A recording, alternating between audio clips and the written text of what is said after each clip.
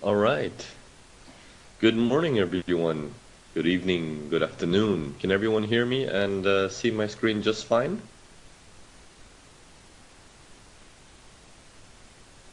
Yeah? All right, good, good, good.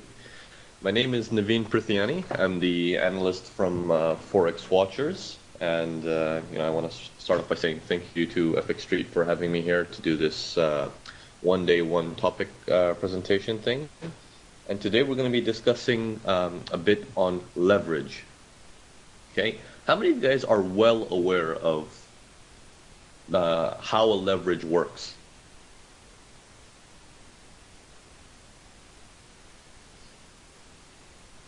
Okay, when you guys open your your forex accounts, right? You it it was it asked you what type of leverage do you want. It gave you that option. Okay, so what we're gonna do is we're gonna discuss the five reasons, um, or I would say the five five areas that caused me damage throughout the years, long long time ago, where it just stopped me from growing I just couldn't grow my account.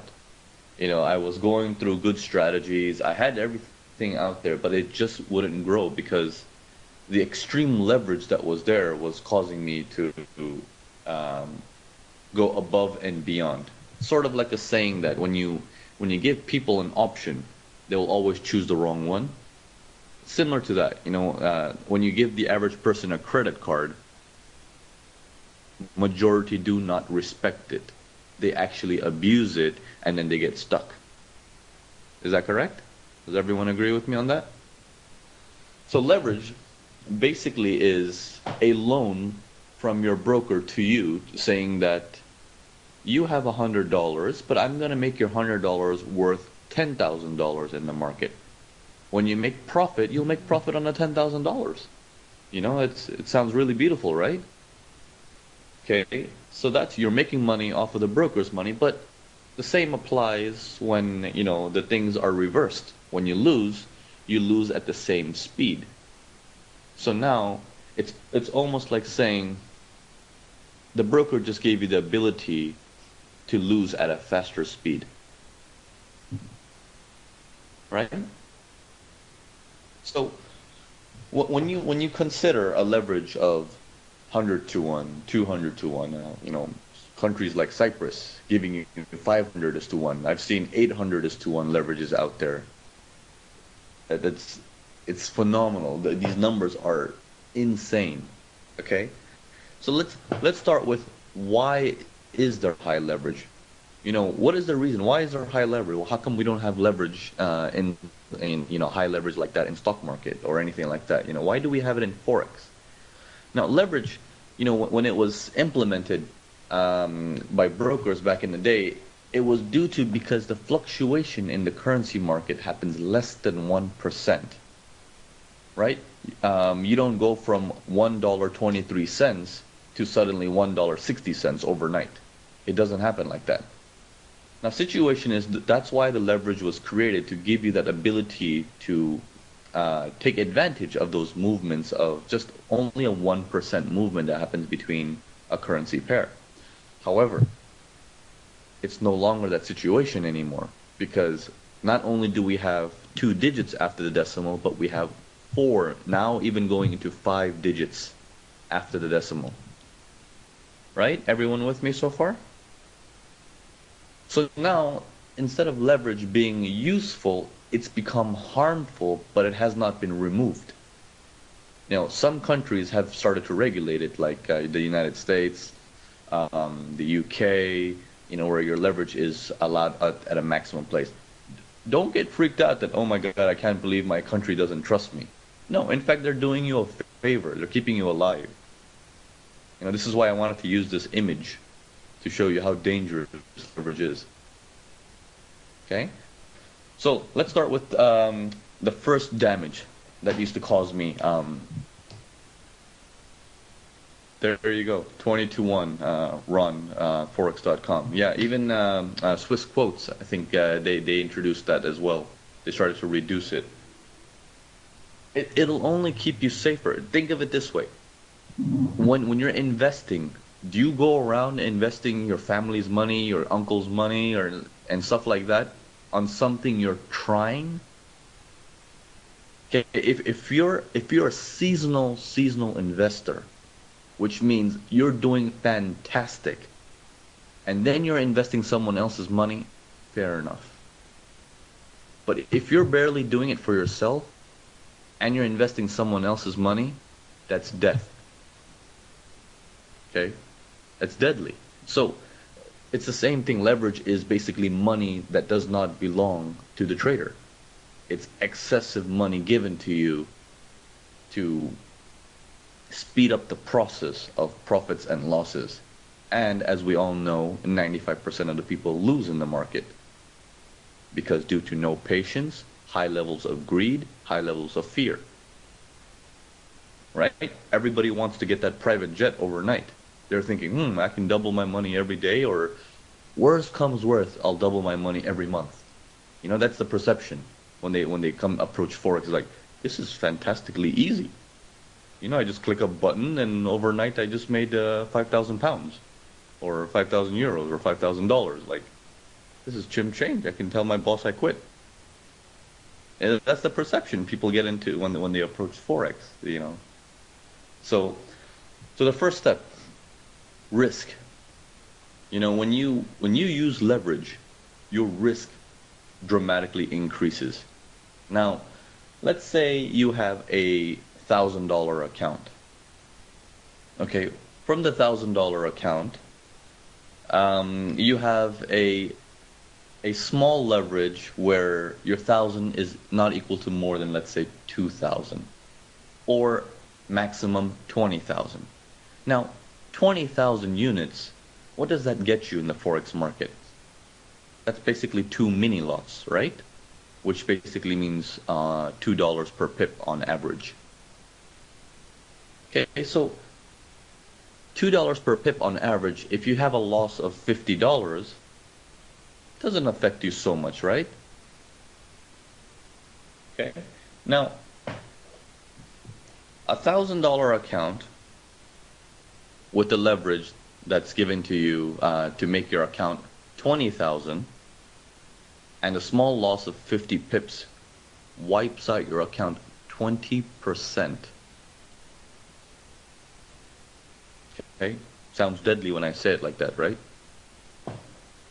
It wipes out your account 20%. This is a small 50 pip stop loss. Now, you can lie to yourself all you want that I'm only going to have a 5 pip stop loss or 10 pip stop loss, and my majorities are always going to be winners. It, like I said, if you're not a seasonal trader, leverage is extremely, extremely dangerous for you. I don't care how many novels or educational books say it's a double-edged sword, it's also a benefit to you. It's not. For new traders or traders just getting to getting some exposure to trading, it is not at all. Okay? Um, it is also important how big position you take or not. Yes, that, that's absolutely correct. It's um, uh, Philip, I'm going to get into that. I'm going to talk about that. And Jason, seasonal, uh, basically I just mean experienced trader. You know, someone who's been trading for years and years and years, and it's this is what they do for a living. You know, that's different. So, um, when you say it's it's important of how big of a position you take. Now, uh, that's what I want to say with uh, you. You have a ability. Okay, with the leverage, you get the ability to open, let's say, hundred dollars per pip. Okay, but your account size is only thousand dollars. But you might be thinking, I'm not going to use the whole hundred dollars. Are you crazy? That's that's too much. You use a smaller size, let's say one mini lot. Okay, all that extra leverage you haven't used, right? Why is it even there? Just think about it for a moment. If if you have control, you're not going to use it. Why do you need that high leverage? The thing is, when things go wrong in your trading, a person usually jumps in and starts doing revenge trading, which means, ah, crap, I can't believe I made that made a stupid loss. I need to get back in and get that money back. And what most people do, I'm not saying all, what most people do is they up the size of the trade because they're allowed to by leverage and they try to get that money back plus more. Is that correct? Is everyone is everyone with me so far? So, if you don't need it, get rid of it. Don't just keep it there thinking one day I might need it. No, no. When you need it that one day, you can call up your broker again and be like, increase my leverage. But get rid of it. Get rid of it. It's extremely dangerous. So, first step was risk. You increase your risk dramatically, dramatically. We're talking tenfold, twentyfold. You increase your risk so much more. Okay, forex it's it's about growing your account. Okay, you should never forget why most people are in forex. Only a few percentage, I would say one percent or even two percent of the people trading forex are in forex because they like problem solving. They like to figure it out. The majority of the people are there to make money, but they get sidetracked their focus is I need to make money, but then the focus starts shifting to, you know, I just need to prove to people that I know what I'm doing. I just need to go onto forums and say, look, it's going to go long, and if it goes long, woohoo. No. Who cares if it's if you're right or wrong? It doesn't matter. It's the account that make, makes a difference, right? We're here to make money. And if that's not the bottom line, then the goal is all messed up right? There is no end result. You know, where are you headed then?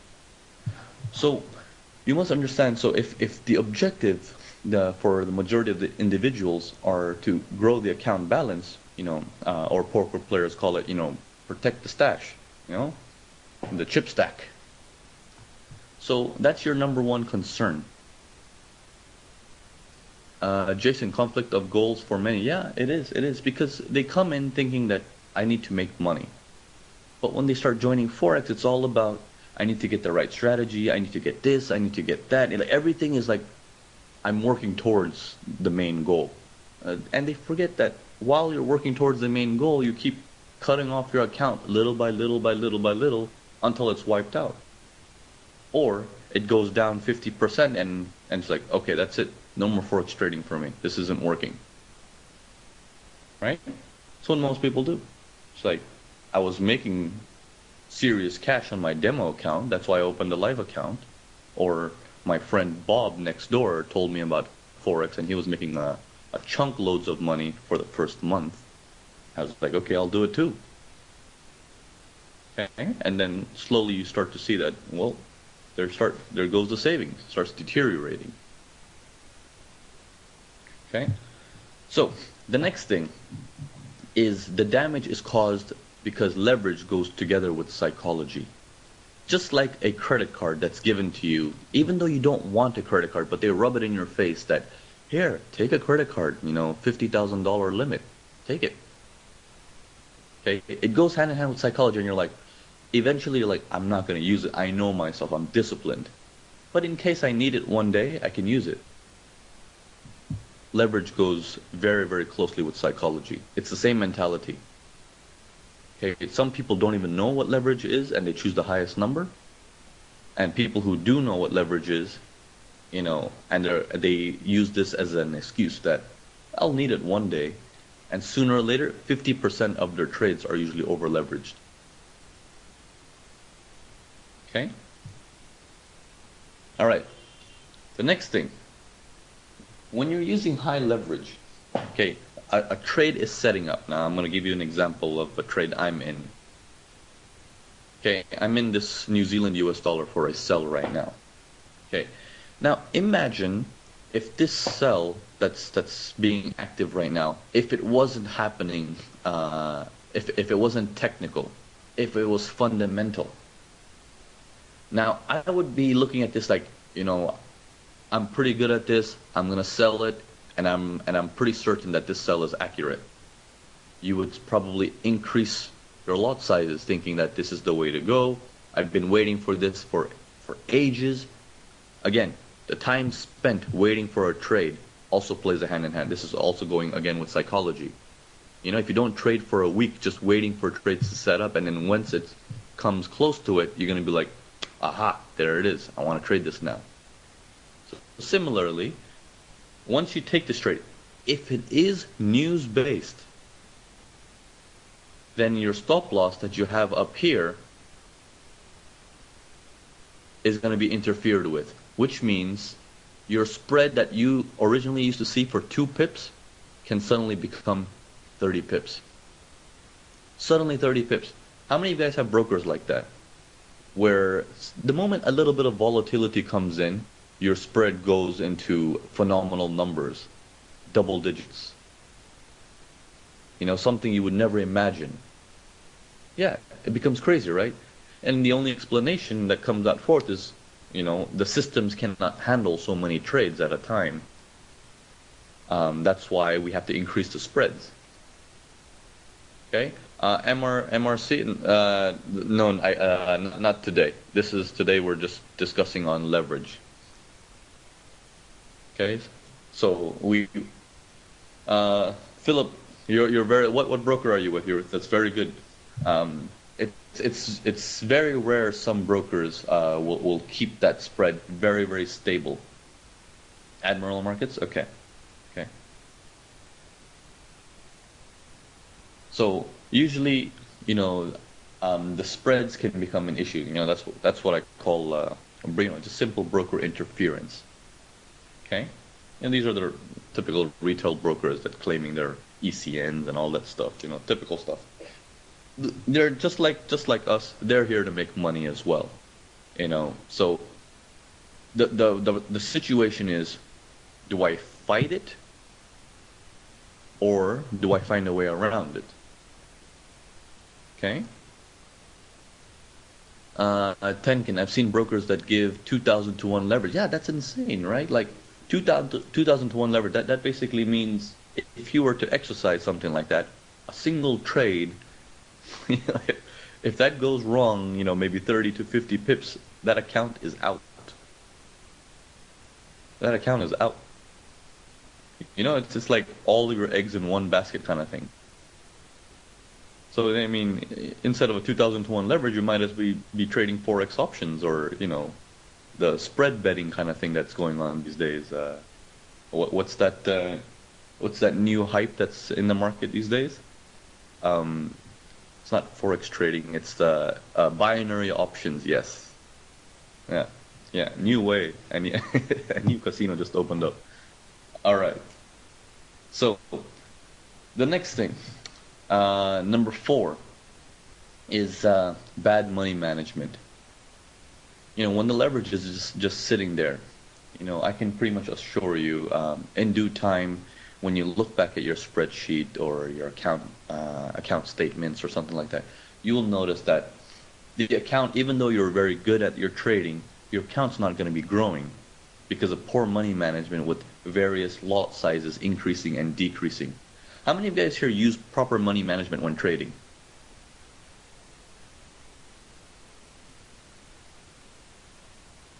Okay, attempt two. Let me. I'm going to give you a quick fix some on every trade? Okay, I'm going to give you a quick, uh, a, a, basic, you know, a very basic. I'm not going to go into extreme details, but I'm going to give you a very basic of how um, how money management is, uh, should be working in your favor. Now, let's say you have um, a thousand dollar account, right? A thousand dollar, a thousand pound, or whatever it is. On average, you know, um, experienced individuals, they'll, they'll try to do something that's 1 to 2% uh, per trade basis, you know, not all the eggs in one basket kind of thing, right? And we can get into all the stuff like how that 2% becomes, you know, 4% or 6% or 10% on a certain trade, but that's, that's uh, for a later topic. Um, so on average would be 1 to 2%, right? Now, if you take your $1,000 and you take that into 2%, that's 20 $20 that you can risk on any single trade. Now, does that mean 20 pips?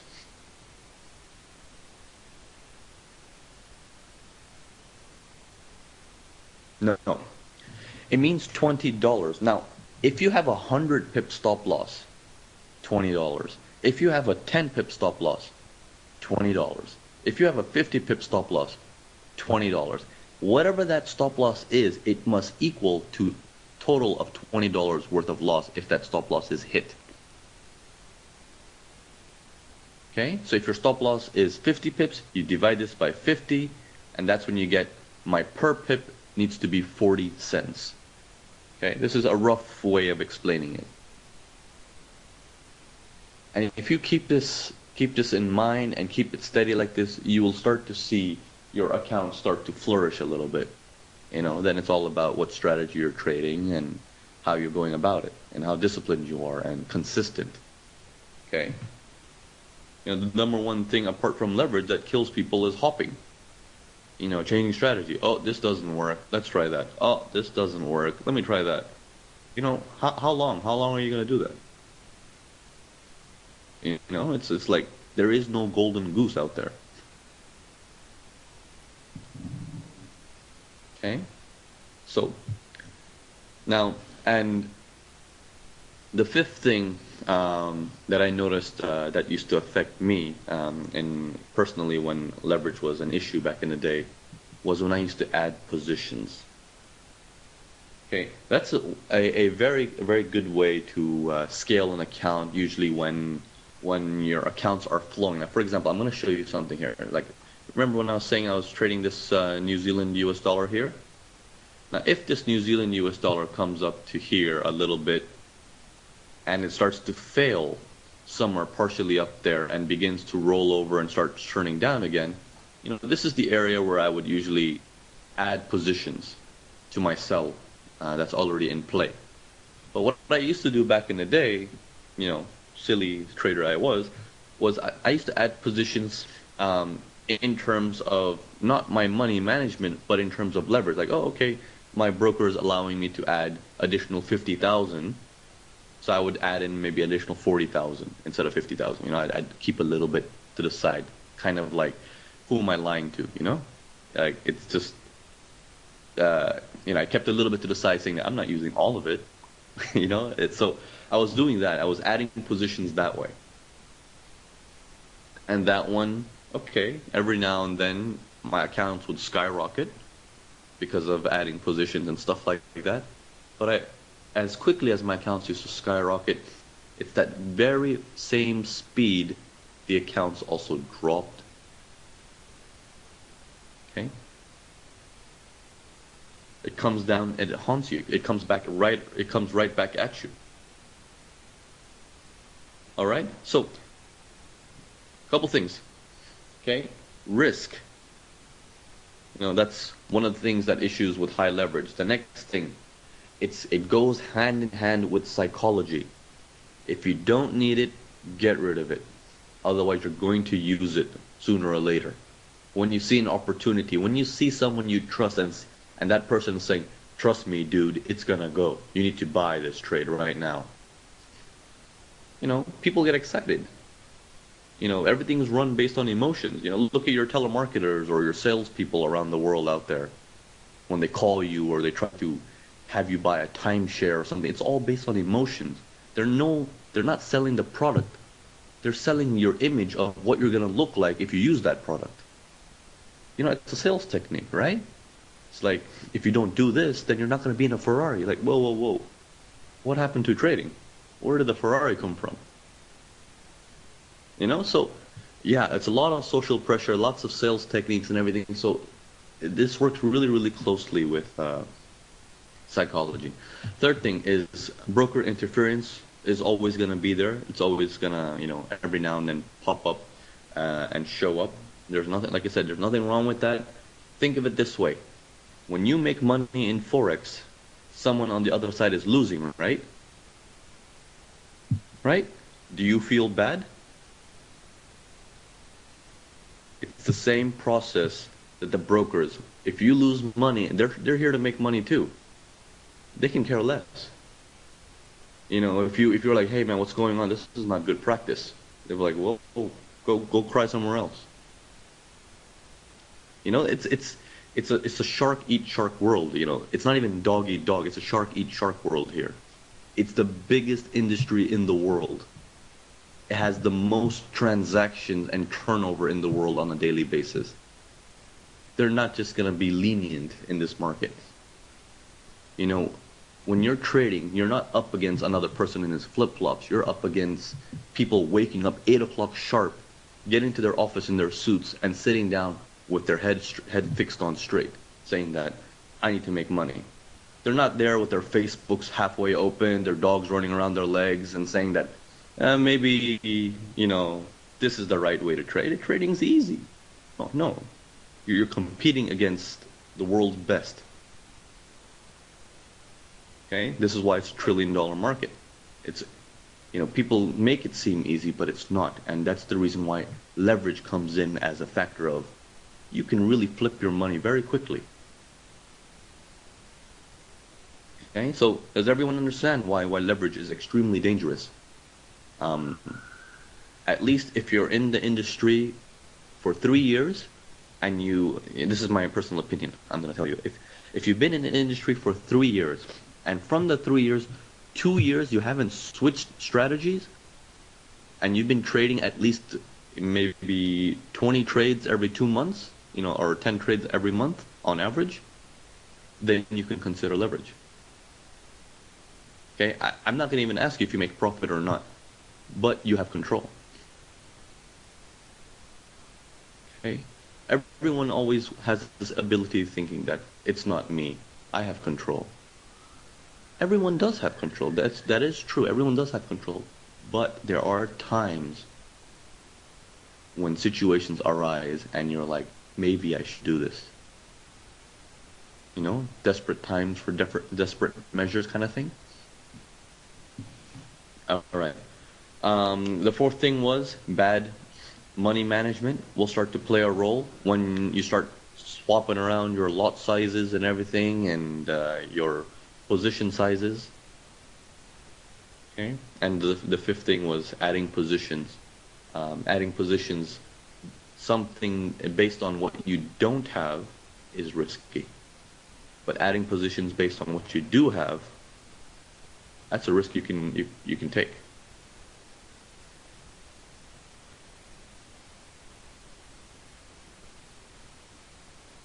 All right.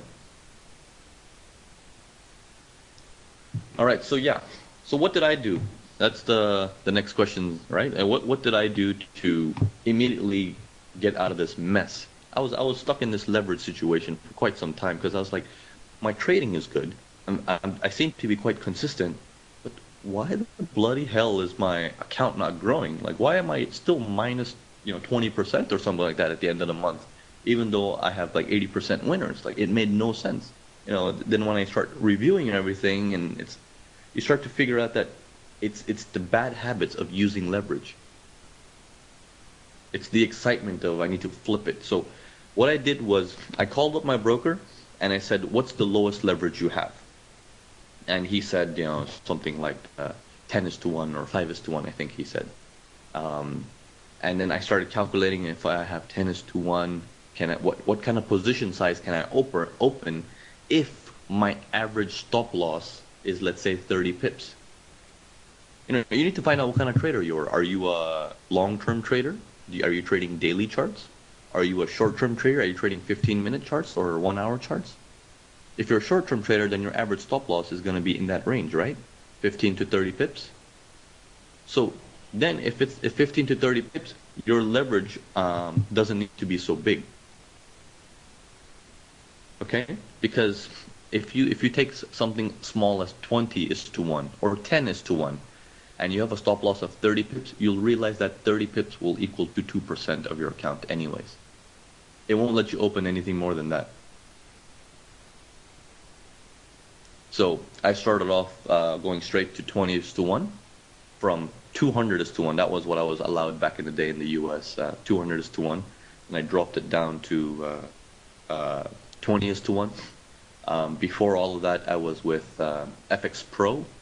Uh, there I had a beautiful 500 is to 1. I, I never came out alive.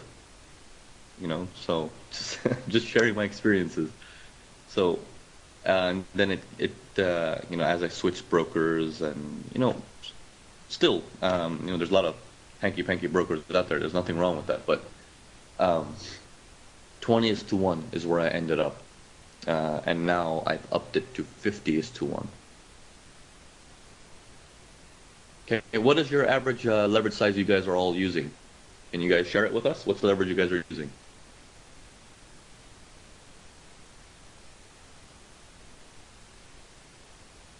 Fifty to one. Fifty to one. Okay, good, good. Ten to one. Richard, very good, very good. Amish, fifty to one. Uh, Patrick, 100, 200. Okay.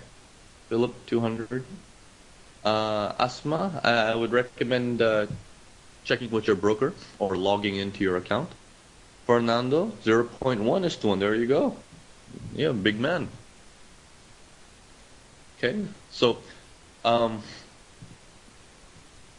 so uh, let me ask you this: for guys who are at 50 is to 1 and 100 and 200 is to 1, let me ask you, how do you feel about the performance? How do you feel performance? Do you feel that it's your strategy or the way you're trading that's incorrect? You know, or do you feel that the hits that you're getting on the account it's such big amounts uh, because of just choosing a, a, a bad size because it's allowed, right? So the first thing we want to do, we want to protect, we, we want to protect uh, a run. Um, trade best with one or two lots. Yeah, I run. I trade close to ten lots. You know, it's you will increase as you go, and uh, you you know, like I said, if there is a next situation where we have to discuss another topic of how and when to increase your percentages, I, uh, I go all the way up to six percent sometimes, ten percent sometimes, but um, one to two lots is pretty good. It all depends on the account size and on the leverage. Uh, I fill up my own mistakes, but I always use same sizes of lots, so in fact I don't need leverage. Okay, so if you're using the same size of lots, that's also um, not going to grow your account, because then you're you're completely um, putting your faith on uh, your strategy, right? If you use the same same size, you're you're doing it based on strategy, thinking that uh, the, the, the your strategy must pull you out. So never put your faith so much on a strategy. Always look at it like whether a strategy helps me or not, whether a trading system helps me or not, whether a automated robot who's trading my account helps me or not.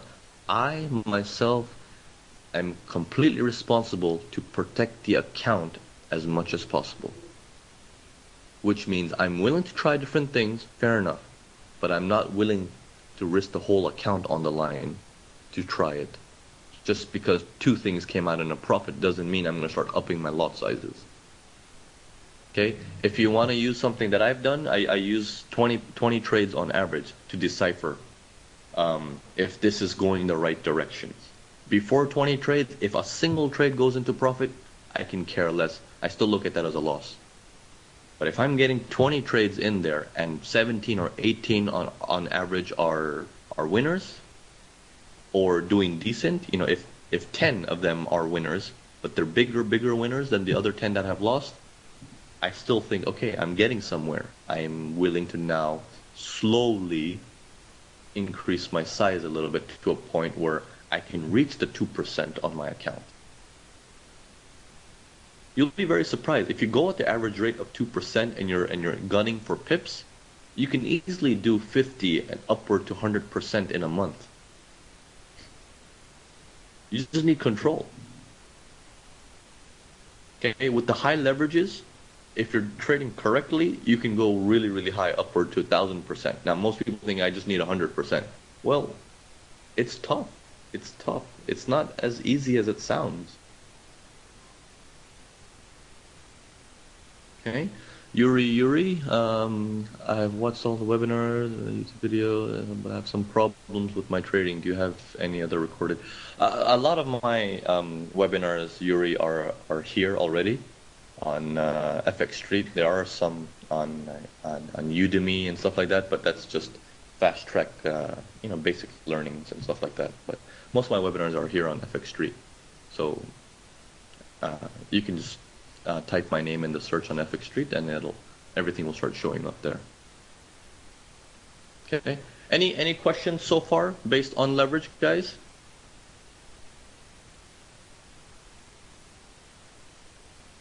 So, what is everyone going to do after this uh, session today? What is everyone going to do? I want you guys to all make me a promise before you leave today.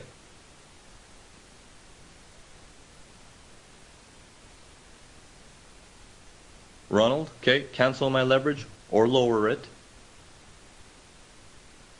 Okay, I'm going to hold you accountable for that. Okay, Danny, look into your leverage. Good. Harsha, lower it. Change lever to something less risky. Very good. Philip, take the step. Take the step to a better and healthy account because that's the only reason why we're trading forex is to keep a healthy and growing account. We're not here for one month only trying to flip the money to make some extreme profits and then that's it for the rest of the year or the rest of my life. We're here to keep it consistent. Uh, Jason, um, uh, my demo account was barely losing money at low leverage. I have to be cautious. Yeah, be very, very cautious. Yeah, the lower the leverage, the better it is. Okay, these are all my personal opinions, and I've shared my my five things that caused me massive, massive damage. You know, again, uh, that's risk, um, and it goes together with psychology. Um, sometimes broker interference will also make my losses get come higher because of my leverage. Uh, bad money management comes into play because of this as well, and then finally scaling or adding positions using uh, leverage. You know that was the number one. Uh, I would say that would be a one of the most powerful ones that that took my account down faster than anything else. Okay, um, Hamish lower should take it lower to like 20. Yeah, 20 to one is a good place to start. Even if you have the greed to trade more, it won't let you. It won't let you. Your account's gonna say, and there's no more margin. It keeps you safe. You know, and you guys can let me know know, I'm always here doing webinars, uh, you know, once or twice a month. I'm always here doing a webinar um, uh, in the premium sector of FXStreet. It's a wonderful place there, and then we also do it on a regular webinar too. Uh, JJTFX, so what is the right brokerage? That one, I'm not going to have a say on it because I, I, am affiliated with many brokerages, so I'm not, uh, I'm not going to say one is better than the other. So, un unfortunately, I, I'm I like to stay honest as possible, so I'm not gonna even mention my brokers that I'm affiliated with. So I'm just telling you, broker interference is gonna be there, practically all the time. So the issue is don't get your emails ready, but uh, you know don't get your emails ready to email them and say, hey, what's going on? But find a way that how you can be safe.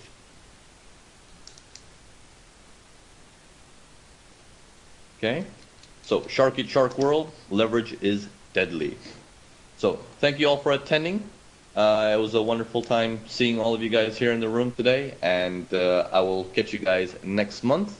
And thank you, FXStreet, for having me here. Take care now. Bye bye.